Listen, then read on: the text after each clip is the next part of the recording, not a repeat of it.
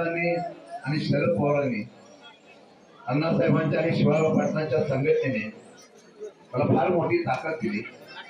आणि आज एक माथाडी कामगाराचा मुलगा आणि माथाडीचा नेता शरद पवारच्या चव्हाण साहेबांच्या भूमीमध्ये महाविकास आघाडीचा उमेदवार म्हणून या ठिकाणी उभा राहिलेला आहे.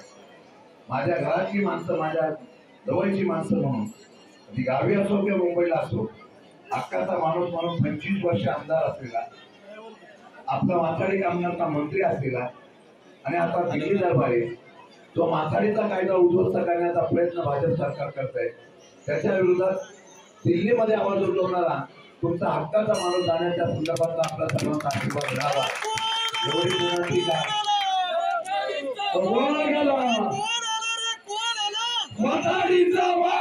ज्या मार्केटमध्ये आपलं मस्तान होतं ज्या मार्केटमधून आपण या ठिकाणी वैभव निर्माण धोक्यात येतो म्हटल्यानंतर गेल्या काही महिन्यापासून चार वेळा आदेश करणाऱ्या सरकारच्या विरोधात त्यांचा माणूस उभा राहा म्हणून मला संधी मिळालेली आहे. एवढंच सांगेल वातावरण फार चांगलं आहे. सामान्य माथाडी कामगार निवडून येऊ शकतो हा इतिहास सातारा जिल्ह्यामधल्या समाजसेवाच्या भूमीमध्ये होईल.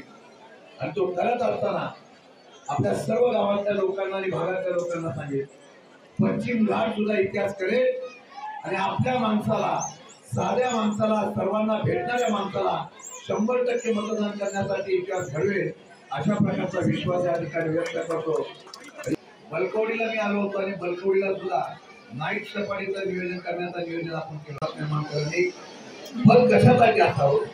फल आपल्या माणसाच्या असलेल्या संरक्षणासाठी असावं. आमदार असताना माथाडीचं संरक्षण केलं. मंत्री असताना संरक्षण केलं.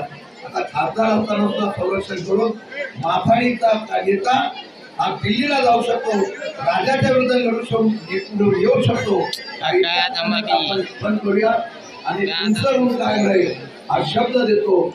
आणि आपल्या सर्वांच्या ऋणातून कायम आयुष्यामध्ये तसं झाल्याचा शब्द देऊन मला आपण जे काही या ठिकाणी स्व निधीतून माथाडी कामगारांनी गोळा केली निधी दिली त्याबद्दल मनापासून हृदयापासून आभार पण व्यक्त करतो. आणि एवढंच सांगतो मला दिलेला निधी हा इथल्या सोहळ्यासाठी वापरावा.